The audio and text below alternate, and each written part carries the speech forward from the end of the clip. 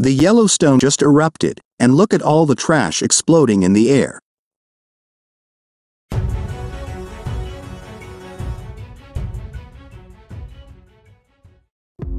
Erupting geysers are said to be a stunning natural sight. But it was probably a lot less when the garbage rain started falling for decades.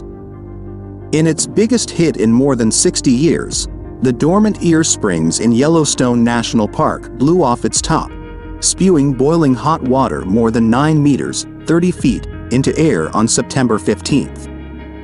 And with it, brought rains of debris thrown up by tourists since the 1930s.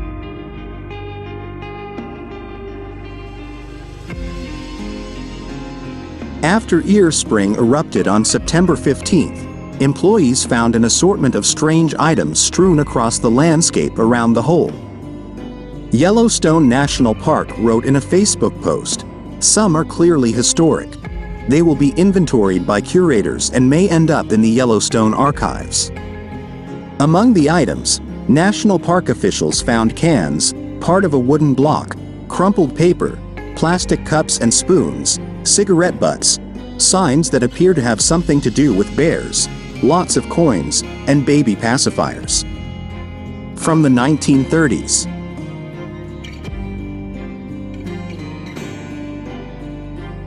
The park has experienced a new frenzy of thermal activity at Geyser Hill where Ear Spring is located in recent weeks. These included new vents and surface fracturing, and a new thermal feature which led to the popular pavement closures in the upper geyser basin to prevent people from being splashed by the boiling water. Situated above a volcanic caldera, Yellowstone is famous for its hot and acid spring activity. Every time there was a spike in thermal activity, there was speculation that the volcano would explode. However, there was nothing to worry about in this case.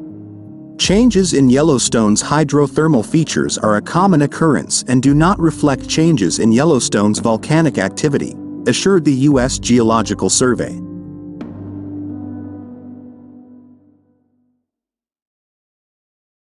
Shifts in hydrothermal systems occur only a few hundred feet above the Earth's crust and are not directly related to the movement of magma several kilometers deep. There was no sign of impending volcanic activity, there has been no significant increase in seismicity or wide-scale variation in ground motion. Still, it's strictly against park rules to throw your trash into the geysers, and not just because littering makes you trash. Foreign objects can damage hot springs and geysers, says Yellowstone National Park. By the time Ear Spring erupts, we expect it to be nothing but natural rocks and water. You can help by never dumping anything into Yellowstone's thermal features. On the Ear Spring Geyser in Yellowstone National Park erupted in its most violent display since 1957. For several minutes, a billowing jet of water soared up to 30 feet 9 meters in the air, chunks of rock and earth spewing upwards. The ground and about 60 years of desire were immediately reversed when the geyser handed over nearly 100 coins that had previously been tossed. Yosemite and Yellowstone. Photos of the two oldest national parks in the world.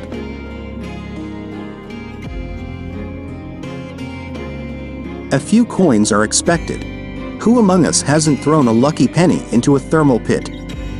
But park officials were more surprised to discover that decades of man-made trash had also been gushing out of ear springs, some of it dating back to the 1930s.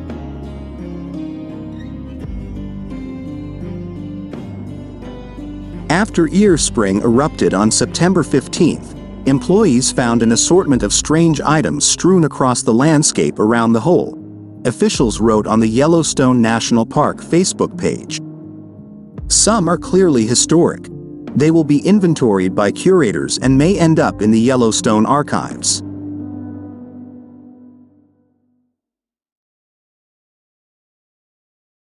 What have people thrown into geysers? Some of the historical detritus dispensed with by Ear Spring includes a large chunk of cinder block, a broken bottle, some metal warning signs, some old aluminum cans, a plastic cup, a cigarette butt, someone's rubber heel insert, an antique pacifier from the 1930s and an 8-inch long plastic straw. Inches, 20 centimeters. Editor's note. Please don't try to drink geysers.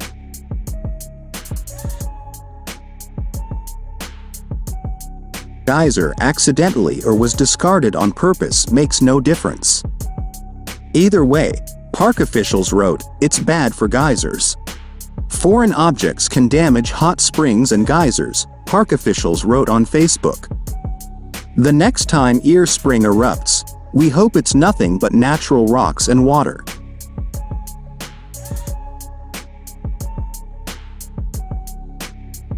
According to the U.S. Geological Survey, USGS, Ear Spring has erupted four times in the past 60 years, most recently in 2004. This geyser is located on Yellowstone Geyser Hill, not far from the world-famous Old Faithful eruption. Several other geysers and thermal pools showed increased activity around the time of Ear Spring's eruption. For example, a new vent appeared and erupted overnight between 18 and the 19th of September.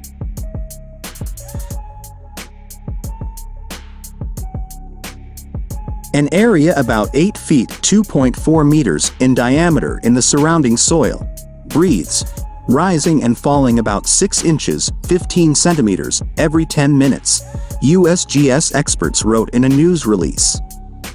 This increased hydrothermal activity can take place from several days to several years, the USGS wrote.